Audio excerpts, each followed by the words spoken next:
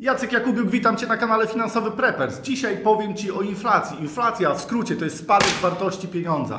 I spadek wartości pieniądza, żeby Wam to pokazać, bo y, wszyscy myślą, że bankierzy centralni są bohaterami, że w czasach kryzysu y, dodrukowują pieniędzy i y, wszyscy mają czym płacić. Dużo celebrytek, które są znane z tego, że pokazały cycki, twierdzi, że jeżeli wydrukujemy więcej pieniędzy, to wtedy wszyscy będą bogaci i wszystkich będzie na to stać. Nie, ja pamiętam takie czasy, kiedy byłem młodym chłopcem i Szedłem po lody, wychodziłem z kamienicy, bo mieszkałem w centrum miasta, yy, szedłem yy, na skwer i z, widziałem jak facet wszedł w psie odchody yy, koło mnie i wyciągnął 100 złotówki i tym wycierał buty. Dlaczego? Bo to był najtańszy papier, który wtedy, wtedy był yy, pod ręką. A ja gałkę lodów kupowałem za dwa banknoty po 10 tysięcy.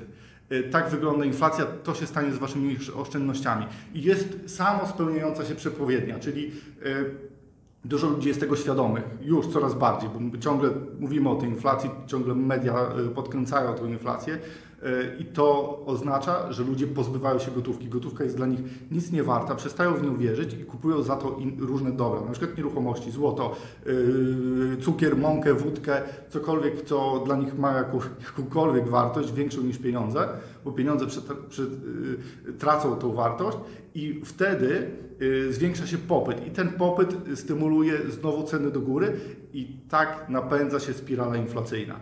Więc jeżeli ty czegoś z tym nie zrobisz, to twoje marzenia zawalą się jak ten domek z makulatury. Było łukieć inflacja, w twoja ręka